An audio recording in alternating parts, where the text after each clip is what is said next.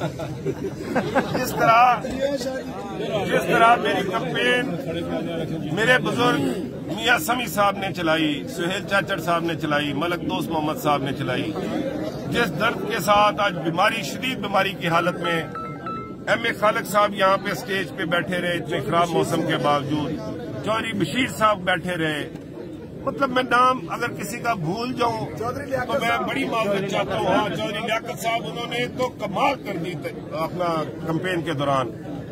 मैं एक एक अपने भाई का बहुत मशहूर हूँ जिस तरह मैंने पहले कहा तमाम लीडरान का। लेकिन लेकिन मेरी ये जीत कभी भी मुमकिन नहीं थी कभी भी मुमकिन नहीं थी। जैसा कि मैंने पहले इब्तदाई शेर शायर से माजरत के साथ कहा कि अर्श वाले मेरी तोकीर सलामत रख ली। फर्श के सारे खुदाओं से उलझ बैठा था। ये मेरी जीत कभी मुमकिन नहीं थी कि अगर इस बार की यूथ मेरे साथ न खड़ी होती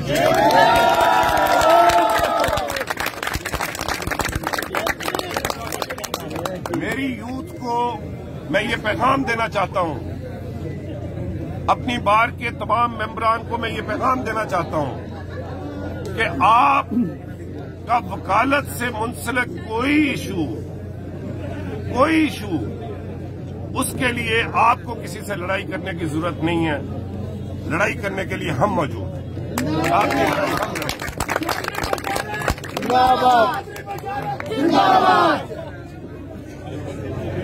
लतीफा है वो सुना तो नहीं सकता क्योंकि मेरी बहनें भी यहाँ पे खड़ी हैं एक बच्ची है सामने खड़ी है। लेकिन मफहूम आप समझ जाएँगे कि इलेक्शन से पहले के वादे कुछ और होते हैं, बाद की बातें कुछ और होती हैं। मैं ये मैं ये बातें अब बाद में कर रहा हूँ। मैं ये बातें अब बाद में कर रहा हूँ कि मैं अपने किसी वकील के साथ, किसी महकमे की जानब से, किसी भी किस्म की कोई ज्यादती बर्दाश्त नहीं करूँगा मैं, सोशल मीडिया तमाम चल रहा है। मैं तमाम अदारों के सरबराहान को ये पैगाम देना चाहता हूँ कि हमारी काबीना किसी के पास मुबारकबाद लेने नहीं जाएगी जिसे मुबारकबाद देनी है यहाँ हमें आके।